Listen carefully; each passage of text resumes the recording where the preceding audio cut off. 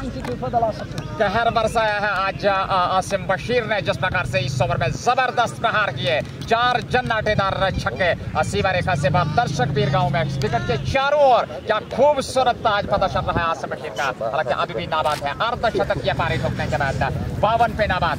दस ओवर पूरे हो चुके हैं। बयानवे रन, दो विकेट के नुकसान पर। यह है लेखा जोखा अब तक का इस मुकाबले का टीम। होकर श्रीनगर, जिन्होंने आज टॉस जीत कर पहले बल्लेबाजी करने के लिए आमंत्रित किया आईसीसी रेड हंदवारा की टीम को और बेहतरीन प्रदर्शन रहा। हालाँकि शुरुआत उतनी अच्छी नहीं लेकिन जिस प्रकार से दोनों बल्लेबाज पहले बासिटार और उसके बाद आसिम बशीर ने शुरुआत की थी। बहुत ही आकर्षक रोमांचक संघर्षपूर्ण मुकाबला। और क्या कहना आसिम बशीर का? जिस शैली के बल्लेबाज है, उस शैली के अनुरूप अपने दर्शकों का क्रिकेट के समर्थकों का और पूरे इस वादिय कश्मीर की बात की जाए कश्मीर राज्य की बात की जाए तो पूरी तरह से अपने समर्थकों का मनोरंजन करते हुए और अभी भी कुछ बिगड़ा नहीं है दस ओवर की पारी अभी भी बाकी है और ऐसे में क्रिकेट के समर्थक और उनके समर्थक चाहते होंगे जे के स्पोर्ट्स टाइम के माध्यम से कि वो आज शतकीय पारी खेले तो शायद सोने पे सुहागा हो जाए इस मुकाबले में Well, India and T20 is all about entertainment, and uh, that's what drama continues here at the Sun. And everyone, all the viewers and the fan base of JK Sports Time would definitely love to see